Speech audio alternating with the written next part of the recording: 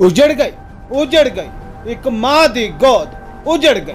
ਜਵਾਨ ਪੁੱਤ ਅੱਖਾਂ ਦੇ ਸਾਹਮਣੇ ਥਾਣੇ 'ਚ ਜ਼ਿੰਦਗੀ ਤੋਂ ਸਦਾ ਲਈ ਦੂਰ ਹੋ ਗਿਆ।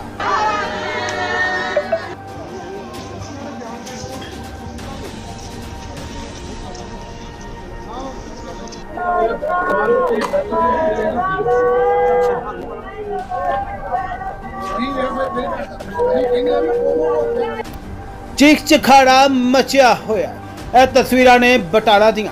ਜਿੱਥੇ ਇੱਕ ਨੌਜਵਾਨ ਨੂੰ ਇੱਕ ਬੁਟੀਕ ਮਾਲਕੀ ਨੂੰ ਗਲਤ ਮੈਸੇਜ ਕਰਨ ਦੇ ਇਲਜ਼ਾਮ 'ਚ ਥਾਣੇ ਬੁਲਾਇਆ ਗਿਆ ਸੀ। ਬਸ ਇਸ ਦੌਰਾਨ ਦੋਨਾਂ ਪਾਰਟੀਆਂ ਦੇ ਵਿੱਚ ਤਲਖੀ ਹੋ ਗਈ, ਜੋ ਕਿਹਾ ਜਾ ਰਿਹਾ ਕਿ ਜਿਸ ਮੁੰਡੇ ਨੂੰ ਥਾਣੇ 'ਚ ਬੁਲਾਇਆ ਗਿਆ ਸੀ ਉਸ ਦੇ ਜਲਾਲਤ ਤੋਂ ਤੰਗ ਆ ਕੇ ਉਸ ਦਾ ਸਿਰ ਥਾਣੇ ਦੇ ਦਰਵਾਜ਼ੇ 'ਚ ਜਾ ਵੱਜਾ।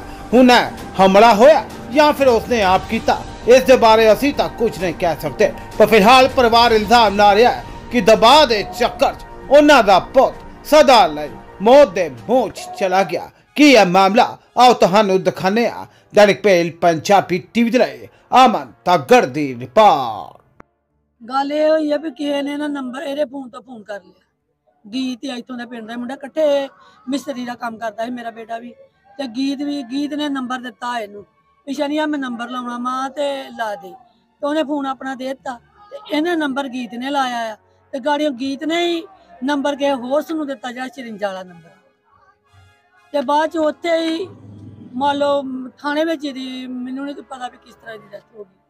ਤੁਸੀਂ ਘਰੋਂ ਥਾਣੇ ਖੜਿਆ ਨਾ? ਹਾਂ ਥਾਣੇ ਖੜਿਆ ਉੱਥੇ। ਇੱਕ ਮੋਟਾ ਜਿਹਾ ਪੁਲਿਸ ਵਾਲਾ ਇਹਨੂੰ ਭੈਣ ਦੀਆਂ ਗਾਲਾਂ ਕੱਢਦਾ ਸੀ। ਮੋਟਾ ਜਿਹਾ ਹੀ ਪੁਲਿਸ ਵਾਲਾ। ਉਹ ਗਾਲਾਂ ਕੱਢਦਾ ਸੀ। ਤੇ ਕਿਸ ਕਾਰਨ ਕਰਕੇ ਮੌਤ ਹੋਈ ਹੈ ਤੁਹਾਡੇ ਬੇਟੇ ਦੀ? ਕੀ ਲੱਗਦਾ ਤੁਹਾਨੂੰ? ਕਿ ਕਿੱਦਾਂ ਹੋਈ ਮੌਤ? ਕਿੱਦਾਂ ਇਹਨੂੰ ਗਾਲਾਂ ਹੀ ਕੱਢੀਆਂ ਨੇ ਭੈਣ ਦੀਆਂ। ਮੌਤ ਅੰਦਰ ਹੀ ਹੋਈ ਹੈ ਮੌਤ ਅੰਦਰੇ ਹੋਈ ਹੈ। ਤੇ ਬਾਅਦ ਚ ਫਿਰ ਤੁਸੀਂ ਕਿੱਥੇ ਖੜਿਆ ਤੁਹਾਨੂੰ ਕਿਹਨੇ ਕਿਹਾ ਮੈਨੇ ਹਸਪੀਟਲ ਹੈ ਨਹੀਂ ਭਾਜੀ ਸਰਪੰਚ ਵੀ ਕਹਿੰਦਾ ਚੱਲ ਲੈ ਜਾਓ ਕਿਤੇ ਦੀ ਦਵਾਈ ਦਵੋ ਵੀ ਮੰਨ ਲਾ ਇਹਨੂੰ ਸੱਟ ਲੱਗ ਗਈ ਉਹ ਜਨਾਨੀ ਕਹਿੰਦੀ ਇਹ ਪਖੰਡ ਕਰਨ ਡਿਆ ਆ। ਇਹਨੇ ਇੱਥੇ ਥਾਣੇ ਜਾ ਕੇ ਬਾਹਰ ਤੇ ਗੱਲ ਕਰ ਲੈਣੀ ਹੈ ਬਾਅਦ ਚ ਮੈਨੂੰ ਕਹਿੰਦੇ ਵੀ ਆ ਤੂੰ ਇੱਥੇ ਵੀ ਰਾਜੀਨਾਮਾ ਹੋ ਗਿਆ ਵੀ ਚੱਲ ਮੁੜ ਕੇ ਨਹੀਂ ਕੁਝ ਵੀ ਕਹਿੰਦੇ। ਤੇ ਮੈਂ ਕਿਹਾ ਵੀ ਚਰਿੰਜਾ ਵਾਲੇ ਨੂੰ ਫੜ ਕੇ ਲਿਓ ਚਰਿੰਜਾ ਵਾਲਾ ਲਿਓ ਚਰਿੰਜਾ ਵਾਲਾ। ਉਹ ਜਨਾਨੀ ਜਿਹੜੀ ਹੈਗੀ ਬਡੀਕ ਵਾਲੀ ਉਹ ਕਹਿੰਦੀ ਮੈਂ ਉੱਪਰ ਜਾਣਾ ਵਾ ਮੈਂ ਕੇਸ ਕਰਨਾ। ਨਹੀਂ ਬਾਅਦ ਚ ਬੇਟੇ ਨੂੰ ਆਪਣੇ ਖੜਿਆ ਹਸਪੀਟਲ ਖੜਿਆ ਤੁਸੀਂ? ਹਸਪੀਟਲ ਤੇ ਖੜਿਆ ਹੈ ਤੇ ਉੱਥੇ ਹੀ ਉੱਥੇ ਹੀ ਇਹਦੀ ਜ਼ਬਾਨ ਜਿਹੜੀ ਹੈ ਨਾ ਜਿਹਦੇ ਦੇ ਮੂੰਹ 'ਚ ਪਾਣੀ ਪਾਇਆ ਅੰਦਰੋਂ ਮੁਲਾਜ਼ਮਾਂ ਨੇ ਪਾਣੀ ਖੜ ਕੇ ਦਿੱਤਾ ਤੇ ਇਹਦੇ ਮੂੰਹ 'ਚ ਪਾਣੀ ਪਾਇਆ ਪਾਣੀ ਗਾਹ ਨਹੀਂ ਨਿਕਲਿਆ ਬਾਹਰ ਨਿਕਲ ਗਿਆ ਇਹਦੀ ਜ਼ਬਾਨ ਜਿਹੜੀ ਨਾ ਐਦਾਂ ਐ ਹੋ ਗਈ ਜ਼ਬਾਨ ਇਹਦੀ। ਕੀ ਚਾਹੁੰਦੇ ਆਪਾਂ? ਕੀ ਚਾਹੁੰਦੇ ਹਾਂ ਪ੍ਰਸ਼ਾਸਨ ਕੀ ਮੰਗ ਇਨਸਾਫ ਚਾਹੀਦਾ ਮੈਨੂੰ ਮੇਰਾ ਪੁੱਤ ਚਾਹੀਦਾ। ਉਹ ਜਨਾਨੀ ਕੋ ਵੀ ਮੇਰਾ ਪੁੱਤ ਚਾਹੀਦਾ ਹੈ ਜਿਹੜੀ ਤੇ ਜੇ ਪੁਲਿਸ ਵਾਲੇ ਆ ਉਹਨਾਂ ਸਰ ਅੱਜ ਕੋਈ ਸਲੀਮ ਸੀ ਮੁੰਡਾ ਕਪਾਰ ਹੋਗਾ ਉਸ ਕਸਟਡੀ ਦੇ ਵਿੱਚ ਜਿਹੜੀ ਪਹੁੰਚੀ ਕੀ ਕਰਨਾ? ਨਹੀਂ ਪੁਲਿਸ ਕਸਟਡੀ ਵਿੱਚ ਮੌਤ ਨਹੀਂ ਹੋਈ।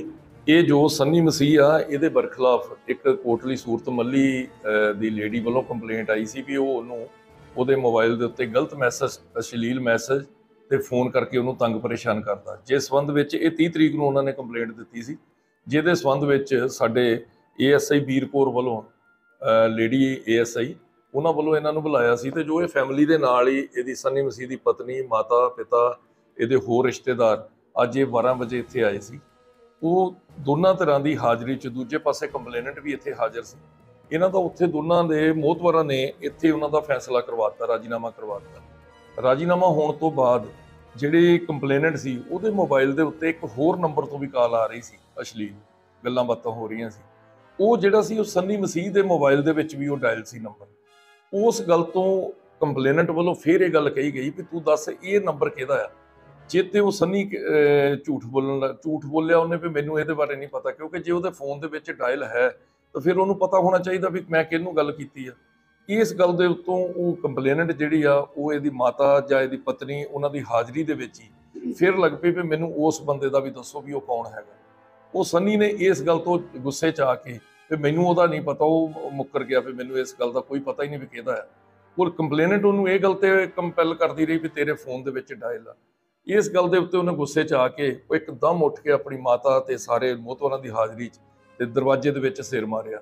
ਜੋ ਮੈਨੂੰ ਪਤਾ ਲੱਗਿਆ ਉਹਦੇ ਪਹਿਲਾਂ ਵੀ ਸਿਰ 'ਚ ਸੱਟ ਲੱਗੀ ਸੀ।